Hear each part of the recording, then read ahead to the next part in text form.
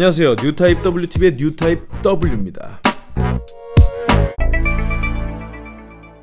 안녕하세요. 뉴타입 WTV의 뉴타입 W입니다. 여러분 잘 지내시고 계신가요? 코로나 바이러스 때문에 굉장히 힘든 시간 보내고 있는데요. 그래도 저희가 갖고 있는 취미가 좀 이렇게 집에서 혼자 할 수 있는 거기 때문에 그나마 좀 위안을 주지 않나 그런 생각을 좀 해봅니다. 다크 나이트 시리즈 시작했고요. 배트맨 비긴스의 두 번째 시간입니다. 레이즈 알굴 피규어 한번 살펴보도록 하겠습니다.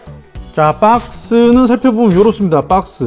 안이 훤히 잘 보이는 박스 아트죠? 마펙스의 특징이기도 한데요. 아무튼 이렇게 되어 있습니다. 앞에. 아 리암 니슨 얼굴 엄청납니다. 이것도 뭐 custom이 필요 없는 어, 엄청나게 잘 나온 헤드가 들어있죠? 이렇게 옆에 보면 리암 니슨의 얼굴과 다크 나이트 Trilogy 이렇게 써 있습니다. 뒤쪽에 보면 간단한 설정샷 되어 있고요. 옆에도 전시샷 되어 있고 위에는 옆에와 비슷한 박스 아트 되어 있고요. 밑에는 여러 가지 주의사항과 라이센스 관련 문구가 쓰여 있습니다 내용물 한번 살펴보도록 하겠습니다.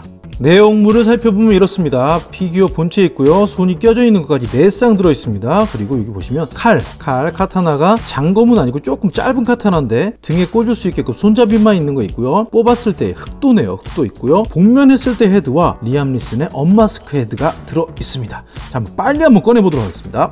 리암 니슨 라즈 알굴의 모습입니다. 야 기가 막히게 나왔죠? 아니 마펙스가 정말 잘 뽑아주긴 해요. 아니 다크나이트 시리즈 이 정도면 와 정말 뭐 부러울 게 없습니다. 6인치에서 그냥 넘사벽이네요. proportion도 너무 좋고요. 이 닌자 코스튬도 굉장히 표현이 좋습니다. 아 헤드가 일단 끝내주고요. 또 수동으로 한번 돌려봐야 되니까. 옆모습 보여드릴게요. 옆모습 이렇게 생겼고요. 자, 옆에서 보더라도 굉장히 자연스러운 shape을 보여줍니다. 이 코스튬이 접힌 느낌 이런 것도 굉장히 좋고요. 자 뒷모습도 매우 자연스럽게 생겨 먹었죠? 네. 좋습니다. 옆모습 또 보여드리면 이렇게 돼 있고요. 네, 뭐 하나 빠짐없이 굉장히 잘 나온 제품이에요. 역시 기대를 저버리지 않는 마펙스 제품이네요. 자 그러면 자세히 한번 살펴보도록 하겠습니다.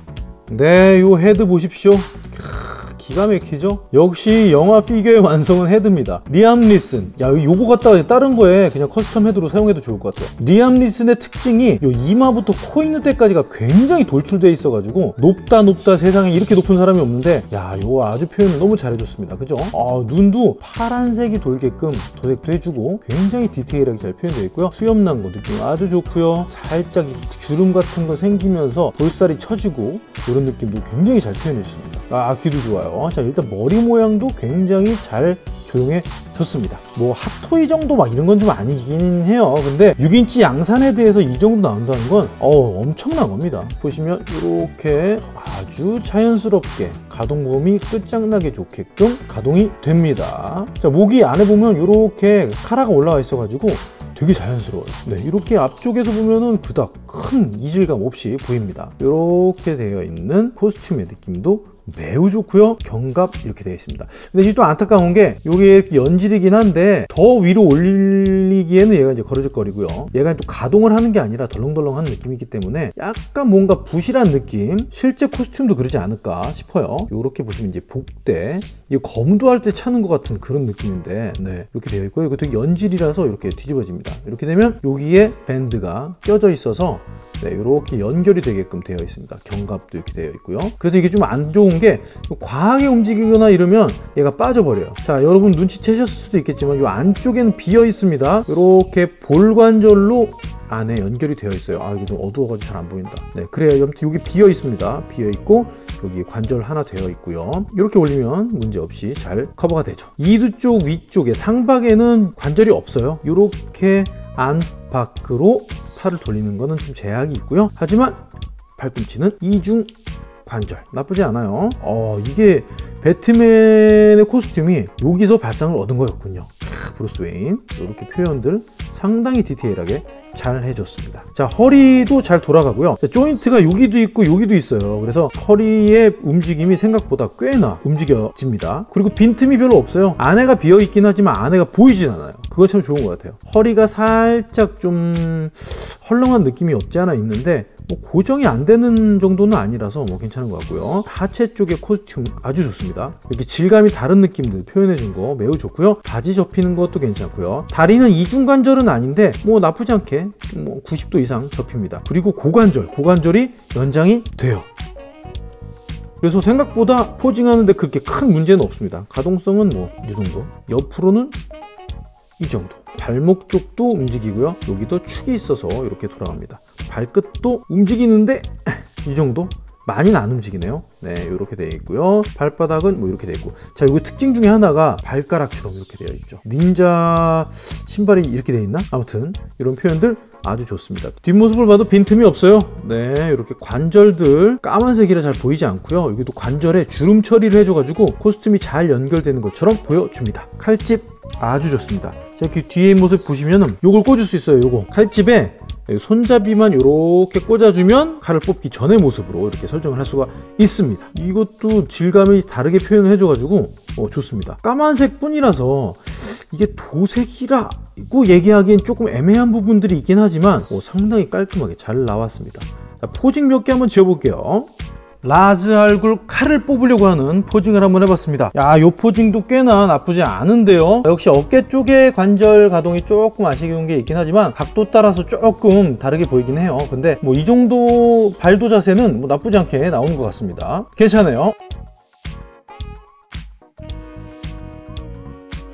자 이제 복면 마스크를 한번 보여드릴게요. 복면 마스크. 짜자잔. 네. 아 요거 마스크 헤드인데요 이거 기가 막힙니다 아주 정말 잘 나왔어요 왜냐면 이 마스크 헤드 안에 눈이 살짝 보이는데 이게 딱 봐도 아 리암 니슨 눈이구나 알수 있어요. 예, 약간 이 뭐랄까 주름이 잡힌 아저씨 눈, 파란 눈동자에 야 요런 것도 기가 막히게 해줬네. 요거 한번 바꿔 끼고 와볼게요.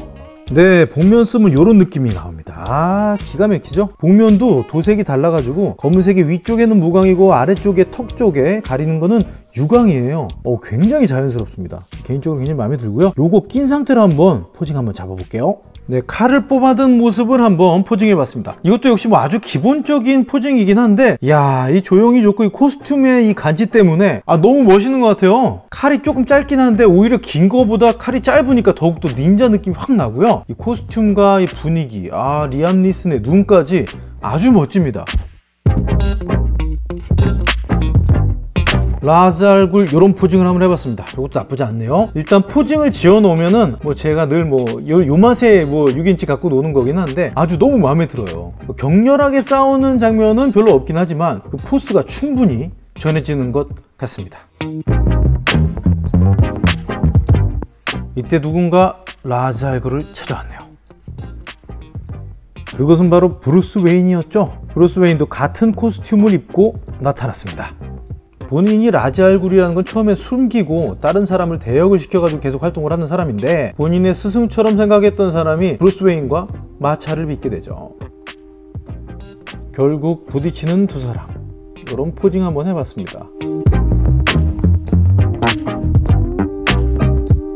꽤나 자연스럽죠? 마지막으로 이런 포징을 한번 지어봤습니다. 홈스테이지 두 개를 이용해 가지고 마펙스 제품을 세워봤는데요. 마펙스 제품이 각각 하나씩 스탠드가 나와요. 근데 두 개를 연결할 수 없고 하나만 단독으로 전시하는 용의 스탠드이기 때문에 두 개 연결하는 홈스테이지 이용해서 한번 이렇게 포징 한번 해봤습니다. 아주 뭐 간지나죠? 하, 간지 죽입니다 아주.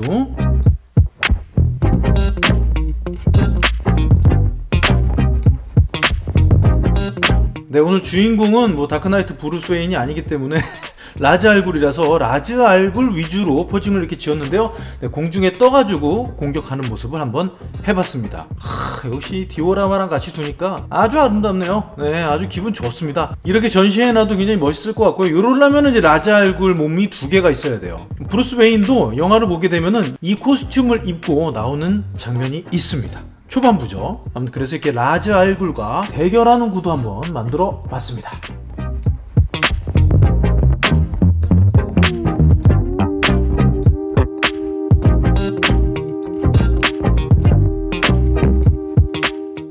지금까지 배트맨 다크 나이트 trilogy 중에서 배트맨 비긴스에 나오는 라즈 알굴 피규어를 리뷰했습니다. 마펙스 제품이었고요. proportion부터 헤드까지 뭐 하나 빼놓을 수 없이 그냥 너무나 잘 나왔기 때문에 이건 뭐 거의 필구입니다. 필구. 다크 나이트 좋아한다면 이 비긴스에서 이 카리스마는 엄청나죠. 그죠? 자, 특히나 이제 리암 니슨의 헤드가 6인치류에는 거의 없는데 이거 뭐 그냥 지존입니다. 네, 아주 좋고요. 이 코스튬의 느낌도 너무 좋아가지고 브루스 웨인의 헤드를 끼워가지고 저렇게 함께 전시해놔도 굉장히 멋있을 것 같습니다. 여러분 여러분 어떻게 오늘도 재밌게 보셨나요? 굉장히 유익하셨나요? 만약에 재밌고 유익하셨다면 구독과 좋아요, 알림 설정과 함께 공유까지 해주시면 너무나 감사할 것 같습니다. 여러분 즐겁고 건강한 취미생활 하시기 바라고요. 항상 건강 조심하십시오. 저는 다음 시간에 만나 뵙도록 하겠습니다. 지금까지 뉴타입 W였습니다.